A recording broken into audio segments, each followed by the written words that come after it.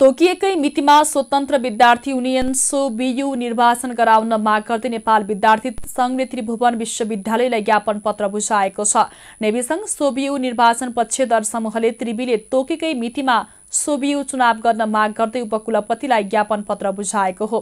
त्रिवीले फागुन चौध गतेका लागि सोबियु चुनावको मिति तय गरेको छ। सोही मितिमा जसरी पनि चुनाव गर्न र त्यसको तयारी थाल्न माग गर्दै ज्ञापन पत्र बुझाइएको नेवी संघका नेता विष्णु बडैलाले जानकारी दिनुभयो।